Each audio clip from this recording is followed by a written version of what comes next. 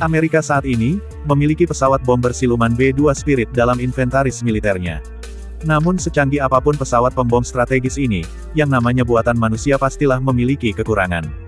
Di mana salah satu pesawat pembom strategis tersebut, pada tanggal 10 Desember tahun 2022 dilaporkan mengalami insight terbakar setelah melakukan pendaratan darurat.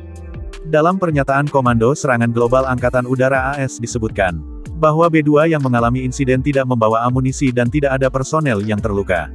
Api di pesawat dapat dipadamkan oleh pemadam pangkalan Angkatan Udara Whiteman setelah mendarat.